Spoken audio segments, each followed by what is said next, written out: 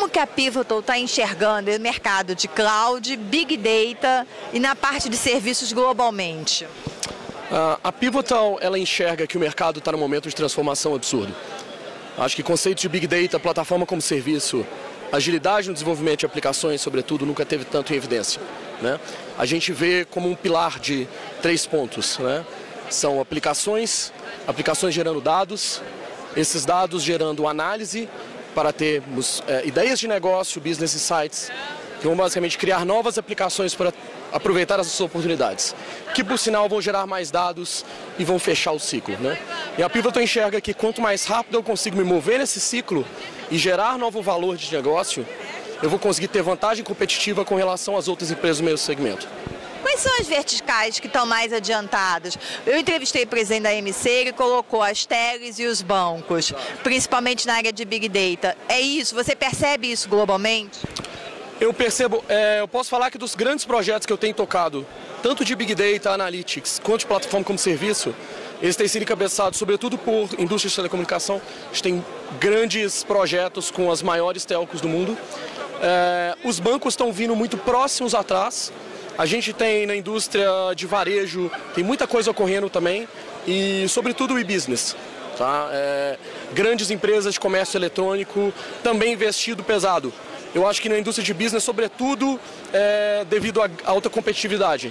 É uma indústria que é menos regulada que a indústria financeira, por exemplo, que dá abertura para novas empresas, novas startups surgirem com ideias de negócio. Obviamente, essas empresas são mais ágeis por natureza, porque são menores, então elas vão forçar a concorrência a se atualizar, a desenvolver seu negócio para gerar vantagem competitiva. Esse mercado já está percebendo a diferença entre Big Data, Analytics e, e entende que, que tratar a informação é mais importante do que armazenar simplesmente o dado?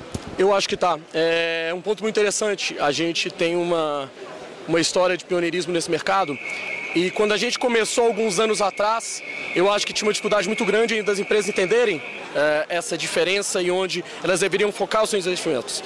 E hoje em dia o que a gente vê é que as empresas já estão chamando a gente para conversar sobre analytics, sobre transformação de negócios em cima de valor de dados e não simplesmente como que eu vou armazenar as minhas transações dos últimos 10 anos porque o governo exige isso. Elas estão chamando a gente para entender como eu posso usar o valor agregado dessas transações para gerar mais negócio, para trazer vantagem competitiva, é, para identificar fraudes mais rápido, para garantir que eu tô que eu sendo compliant com as políticas é, corporativas, para garantir como, por exemplo, eu vou desenvolver software mais ágil e qual é o meu novo foco de business, onde está vindo a demanda de negócio. Nessa área, você deve estar sentindo falta de bons profissionais, porque faltam cientistas de dados. Faltam. E não é Brasil, é global.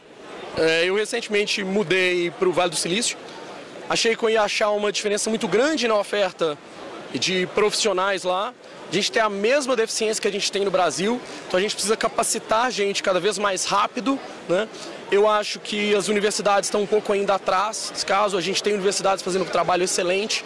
A grande maioria ainda está com um currículo muito tradicional, focando que a gente estava utilizando talvez há 10, 15 anos atrás. E eu acho que as empresas estão tendo um papel fundamental na formação desses profissionais.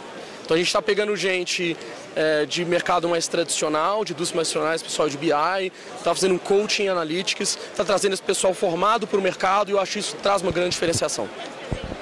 O Big Data mata o BI? De forma alguma, de forma alguma.